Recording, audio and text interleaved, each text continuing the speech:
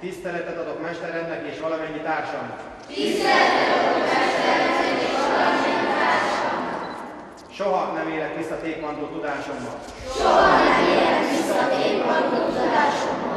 Eskütétellel kezdődött az övvizsga a 60 tékvandó klubban. Idősebbek és fiatalabbak keményen készültek a megmérettetésre.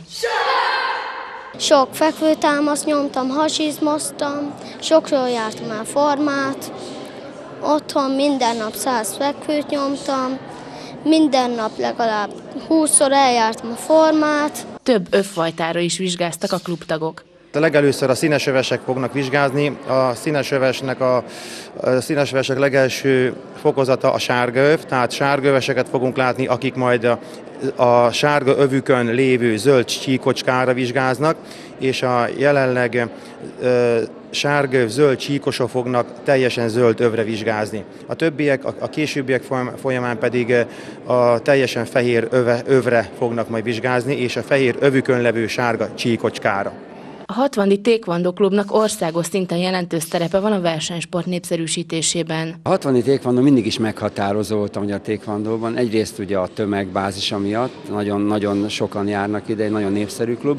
Másrészt pedig az, hogy a versenysport tékvandót nagyon népszerűsíti. Hát az utóbbi 20 évben itt olyan nagy versenyek és kupák voltak, amikre mindig emlékezni fog a magyar sportélet.